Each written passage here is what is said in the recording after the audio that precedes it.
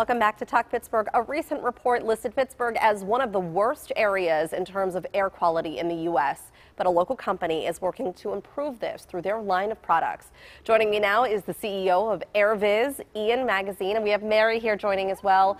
We're going to get to that in just a minute. But first, uh, I want to talk to you, Ian, about your company.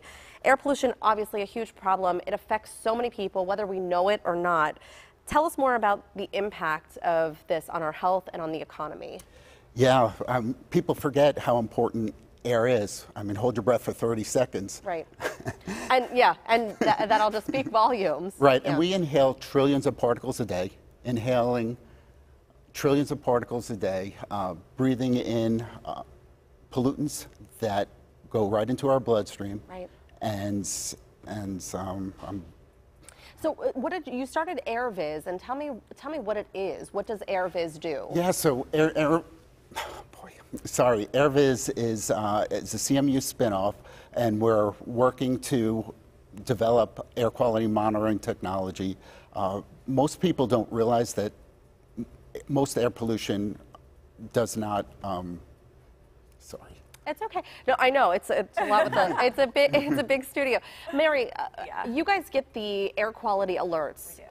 And I know that we were just talking about how the threshold has actually gone down, lowered. Yeah. But why is this so important? Because you now will put these out to the viewer so they know when the air quality has changed. It is so often that we have code orange days, and when you have those temperature inversions, I mean, one thing too that the National Weather Service is trying to do is to try to get ahead of them so we know days in advance when we're going to be issuing, you know, air quality alerts or code orange days because they do that. But we want to be able to say, hey, if you're in one of those sense like if you're in a sensitive group, you want to avoid being outdoors, and it's that Liberty and Clairton area. That's that such the problem yeah. area. And even you go back, this has been going on for so many years. So it's so important what you're doing too with having a program like this and just trying to figure out, you know, what ways to tackle this. And yeah, so talk, talk yeah, more so most pollutants don't get detected at all. 79% of the counties in the U.S.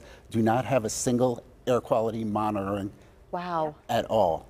And those that do have limited coverage. The closest air monitor to my house is 32 miles. Mm. And that's a, that's a huge, I mean, that's, we're talking about your house being multiple neighborhoods away from where that is.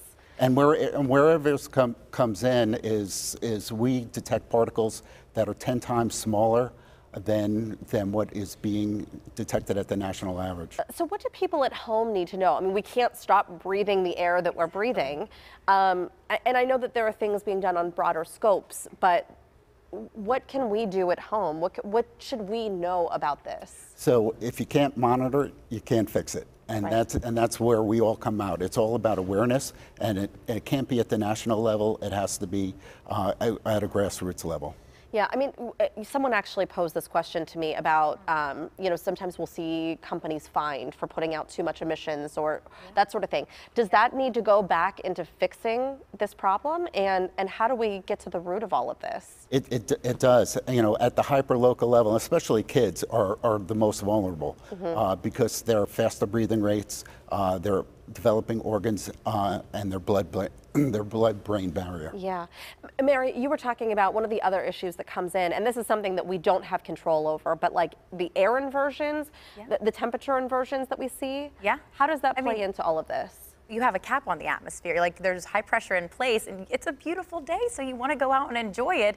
And then you get an air quality alert in your area because all of those pollutants are being trapped because you have that layer of warm air above. So that's too where if you don't have those monitors around in certain locations, which I do hear that they're supposed to be getting more in places, but it's still not enough in my opinion. I think they need more everywhere. And then we need to, as you know, meteorologists, we're trying, even working with the National Weather Service, trying to get ahead of these so that we can see on a beautiful day, you know, especially that Liberty Clairton area. I mean, if you live there, you're used to it, right? right. But you still want to make sure that you're being on top of it and trying to inform everyone right. on even though it's beautiful outside. Here's what you need to know. This is what yes. you can't see. Is what you can't see, yeah. Um, Ian, can you give us some ideas of what schools can be doing? Because I know that there was a, a, big push about not having buses idle and, and so that's been implemented. But are there other things, in particular, when it comes to our kids and asthma rates going up and that sort of thing? Yeah, no, and, and let's, let's talk about asthma. One in 12 people suffer from asthma, causing 10 million doctor visits a year